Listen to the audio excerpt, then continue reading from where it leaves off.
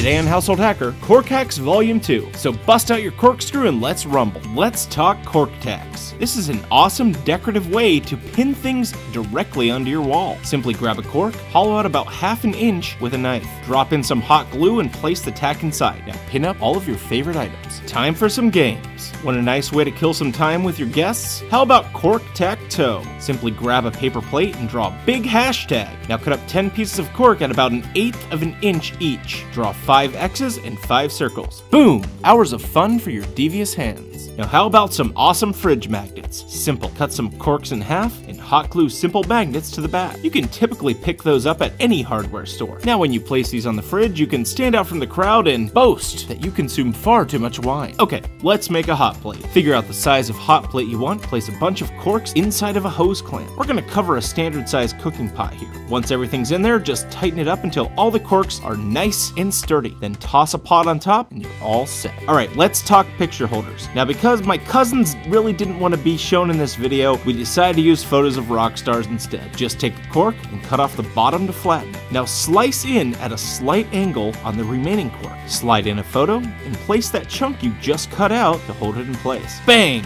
Shot through the heart and you're to blame, giving corks very bad.